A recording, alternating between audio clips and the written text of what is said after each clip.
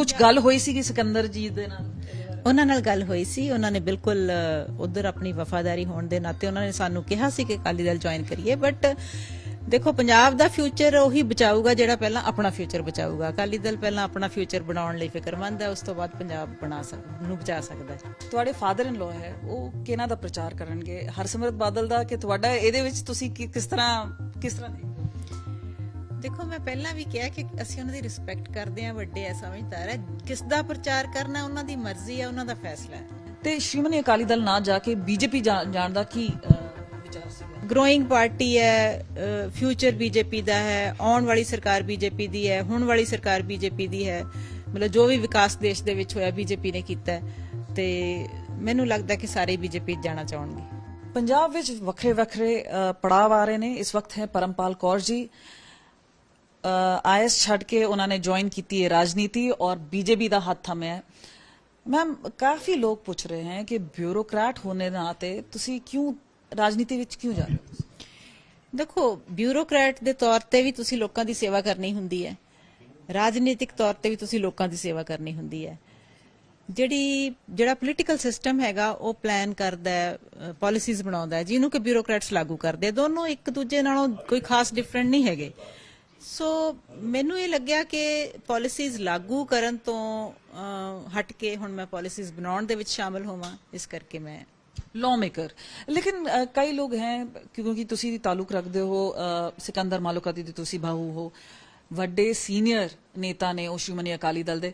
ਤੇ ਸ਼੍ਰੀਮਣੀ ਅਕਾਲੀ ਦਲ ਨਾ ਜਾ ਕੇ ਬੀਜੇਪੀ ਜਾਣ ਦਾ ਕੀ ਵਿਚਾਰ ਸੀਗਾ? ਕਿਉਂਕਿ ਬੀਜੇਪੀ ਦੀ ਮੈਨੂੰ ਪਲੈਨਿੰਗ ਠੀਕ ਲੱਗ ਰਹੀ ਹੈ। ਉਹਨਾਂ ਦਾ ਵਿਜ਼ਨ ਹੈਗਾ ਅਗਲੇ ਆਉਣ ਵਾਲੇ 20 30 ਸਾਲਾਂ ਦੀ ਉਹਨਾਂ ਦੀ ਪਲੈਨਿੰਗ ਆਲਰੇਡੀ ਉਹਨਾਂ ਨੇ ਬਣਾ ਰੱਖੀ ਹੈ। ਤੇ ਗਰੋਇੰਗ ਪਾਰਟੀ ਹੈ ਫਿਊਚਰ ਬੀਜੇਪੀ ਦਾ ਹੈ ਆਉਣ ਵਾਲੀ ਸਰਕਾਰ ਬੀਜੇਪੀ ਦੀ ਹੈ ਹੁਣ ਵਾਲੀ ਸਰਕਾਰ ਬੀਜੇਪੀ ਦੀ ਹੈ। ਮਤਲਬ ਜੋ ਵੀ ਵਿਕਾਸ ਦੇਸ਼ ਦੇ ਵਿੱਚ ਹੋਇਆ ਬੀਜੇਪੀ ਨੇ ਕੀਤਾ ਤੇ ਮੈਨੂੰ ਲੱਗਦਾ ਕਿ ਸਾਰੇ ਬੀਜੇਪੀ ਜਾਣਾ ਚਾਹਣਗੇ।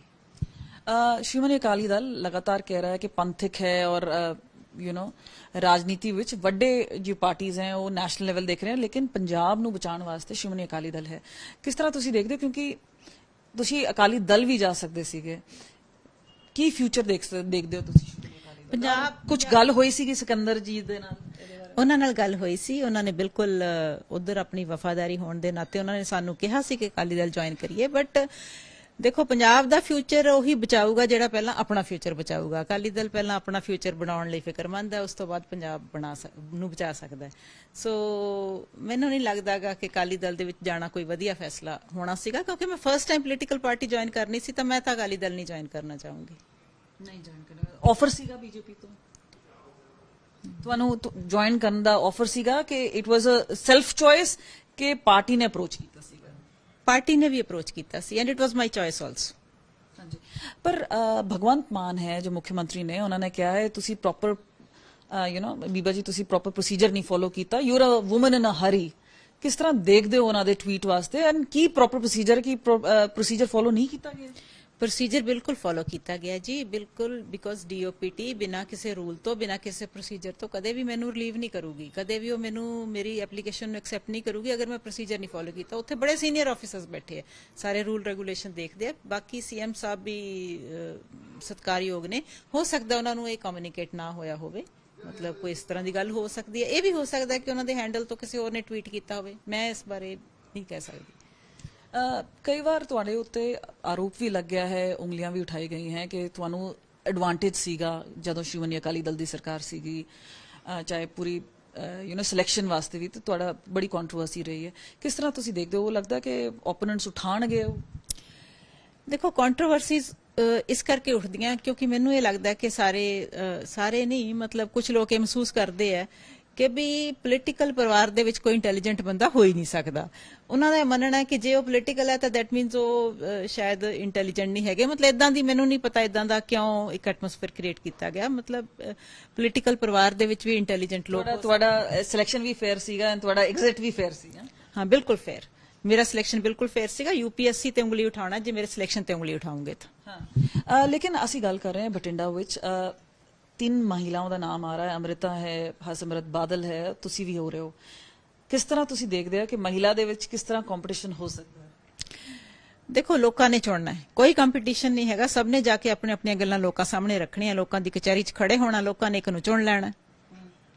ਤੁਹਾਨੂੰ ਕੀ ਲੱਗਦਾ ਕਿ ਹਰਸਿਮਰਤ ਬਾਦਲ ਦੀ ਕੀ ਚੁਣੌਤੀ ਹੈ? ਕਿਉਂਕਿ ਉਹ ਬਾਰ-ਬਾਰ ਉੱਥੋਂ ਜਿੱਤਦੀ ਆਈ ਹੈ।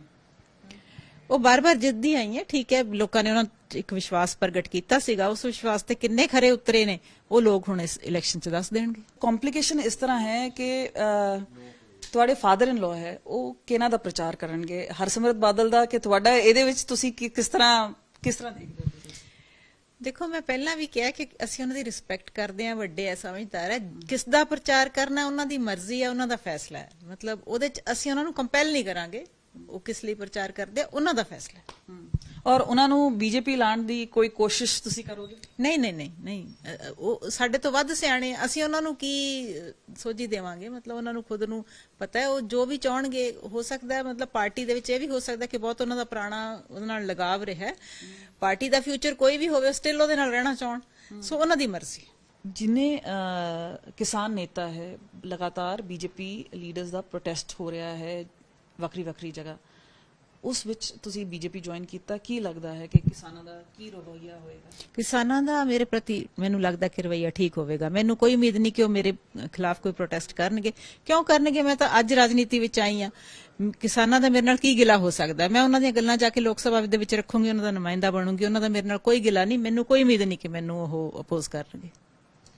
ਤੇ ਪਰਮਪਾਲ ਕੌਰ ਜੀ ਨया ਚਿਹਰਾ। ਬਿਊਰੋਕ੍ਰੇਸੀ ਦੇਖੀਏ ਹੁਣ ਰਾਜਨੀਤੀ ਦੇਖਣਗੇ ਤੇ ਉਹ ਵੀ ਦੇਖਣਗੇ ਕਿ ਕਿਸ ਤਰ੍ਹਾਂ ਭਗਵੰਤ ਮਾਨ ਜਾਂ ਬਾਕੀ ਨੇਤਾ ਹੈ, ਉਹਨਾਂ ਦੇ ਨਾਲ ਡੀਲ ਕਰਨਗੇ, ਪਹਿਲੇ ਇੱਕ ਅਫਸਰ ਦੇ ਨਾਲ, ਔਰ ਹੁਣ ਇੱਕ ਨੇਤਾ ਦੇ ਹੋਣ ਦੇ ਹਿਸਾਬ ਤੇ। ਕੈਮਰਾ ਪਰਸਨ ਚਾਂਦੀ ਰਾਮ ਦੇ ਨਾਲ, ਕਮਲਜੀਤ ਸੰਧੂ, ਚੰਡੀਗੜ੍ਹ, ਪੰਜਾਬ ਤੱਕ।